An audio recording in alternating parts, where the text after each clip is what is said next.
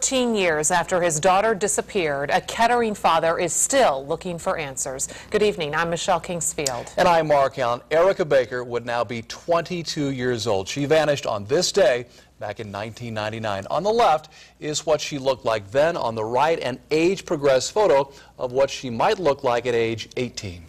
Anthony Kiko is live with how her father is making sure Erica is never forgotten in our top story at 11.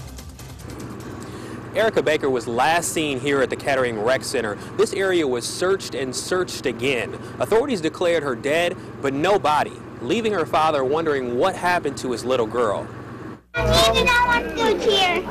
Erica Baker was nine years old the last time her father saw her. That's the only memory I have of her.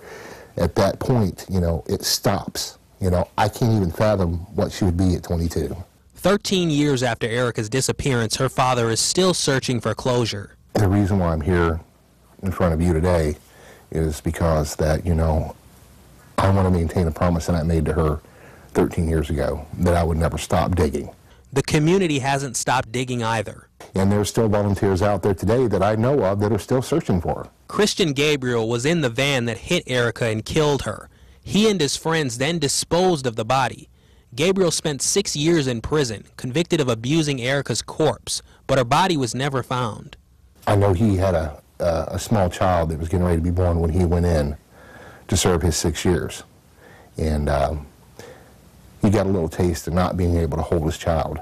You know, I haven't held my child in 13 years. Some of Erica's family members met with Gabriel when he was released last October, hoping to find out what happened to her body. Unfortunately, he didn't remember very much, and he said he was very sorry. However, sorry isn't what Erica's father wants to hear.